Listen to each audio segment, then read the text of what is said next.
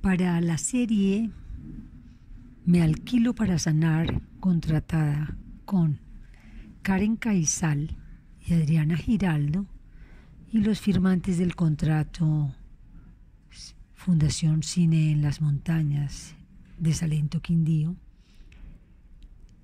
Aporto estos documentos, entre muchos otros documentos que tengo, comprobando todo el trabajo realizado en relación a algo en donde trabajé para sanando corazones y el contrato decía desde el principio, me alquilo para sanar y las cláusulas que esto no se podía cambiar. Primer capítulo de la filmación de Sanando Corazones, procurando los dos metros de distancia,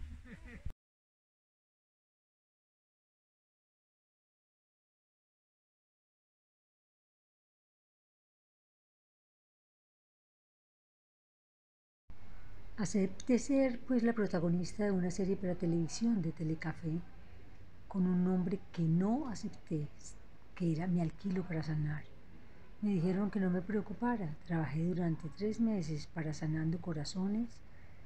Me engañaron porque tenían un contrato firmado de la Fundación Cine en las Montañas con Telecafé para esta serie y ese nombre no podía cambiarse.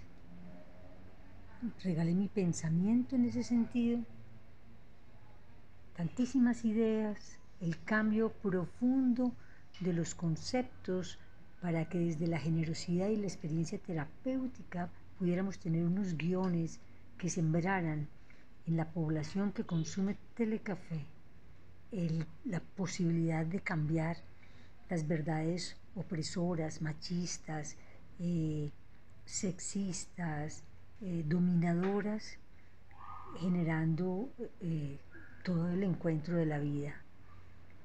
No me pagaron, me prometieron pagarme 6 millones de pesos y no me pagaron. Me dijeron que hiciera arreglos en la casa, hice arreglos, me mudé a otro lugar para dejar los espacios, organicé unos caminos para que no deterioraran la selva cuando llegaran. Eh, y sucedieron todas las cosas que están denunciadas en él, en los otros dos videos que están en el canal de Margarita Rosa Tirado.